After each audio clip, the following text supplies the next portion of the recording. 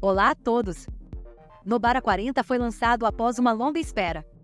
Existem inúmeras melhorias e novos recursos que tornam esta versão mais inteligente e fácil de usar, então vamos detalhar. O aplicativo de atualização agora é um aplicativo gráfico baseado em Python. Em vez de um script grande e complexo, ele funciona perfeitamente com o gerenciador de pacotes Nobara mostrando notificação de atualização na bandeja do sistema. Você pode personalizar a frequência com que o aplicativo verifica atualizações e até ocultar o ícone da bandeja, se desejar.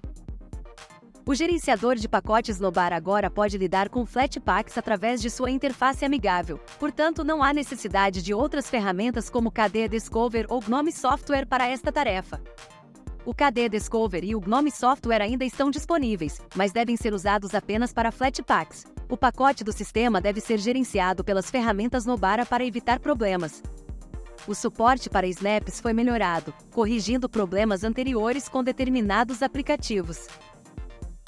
Uma nova ferramenta para gerenciar drivers de hardware de terceiros foi introduzida com planos para expandir seus recursos no futuro.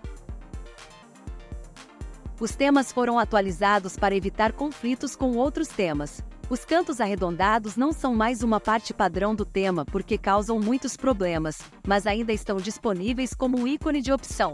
Problemas com o tema papyrus escuro foram corrigidos e novas ferramentas para alterar as cores das pastas foram adicionadas. Novos papéis de parede, incluindo alguns gerados por inteligência artificial, foram adicionados para refrescar o visual. Uma nova ferramenta chamada Starship fornece um prompt de comando limpo e personalizável sem alterar o shell padrão. O KD foi atualizado para a versão 6.1.1. O GNOME foi atualizado para a versão 46. Um componente com bugs que causavam problemas de tela no GNOME foi removido. Os drivers gráficos mesa mais recentes, versão 24.1.13 drivers NVIDIA, versão 555.58.02, estão incluídos. Atualizações e correções regulares foram aplicadas ao GameScope, uma ferramenta para melhorar o desempenho dos jogos. O gerenciamento de pacotes para diferentes hardwares de jogos tornou-se mais modular e flexível.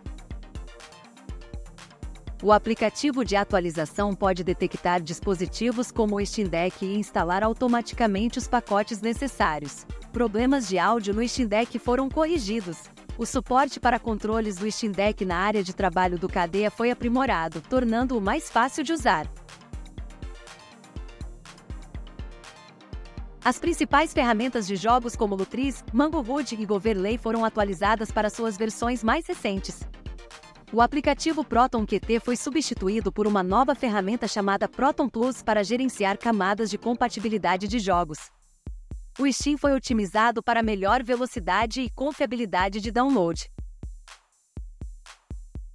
A versão mais recente do OBS Studio 32.0 está incluída, junto com novos plugins para remoção de fundo, lista de reprodução e captura de vídeo HDR. O aplicativo de boas-vindas ainda fornece um tempo de execução para o DaVinci Resolve, garantindo que ele funcione perfeitamente com a versão 18.6 mais recente. O kernel foi atualizado para a versão 6 de agosto de 12 com testes contínuos para a versão 6.10. Patches para suporte a dispositivos Microsoft Surface, Lenovo Legion e MacBooks T2 estão incluídos. Vários patches de desempenho e compatibilidade também são aplicados para melhorar a estabilidade e funcionalidade geral do sistema. O Firefox está de volta como navegador padrão com problemas anteriores resolvidos. O LibreOffice substituiu o OnlyOffice para evitar a necessidade de repositórios extras de software.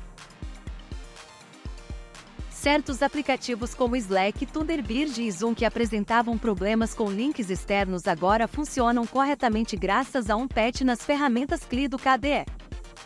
Nobara 40 traz muitas melhorias para garantir uma experiência tranquila e agradável para seus usuários. O foco tem sido fazer com que tudo funcione melhor em conjunto, corrigindo bugs e adicionando novos recursos úteis. Esta versão pretende ser muito mais estável e fácil de usar do que as versões anteriores, atendendo tanto aos usuários comuns quanto aos jogadores. Então é isso para Nobara 40. Está repleto de atualizações e novos recursos para tornar sua experiência de computação melhor do que nunca. Obrigado por assistir. Se você achou este vídeo útil, dê um joinha e inscreva-se em nosso canal para obter mais atualizações e tutoriais sobre Nobara, Linux e outros tópicos sobre Linux. Fique à vontade para deixar um comentário abaixo se tiver alguma dúvida ou quiser compartilhar sua experiência com Nobara. Vejo você no próximo vídeo.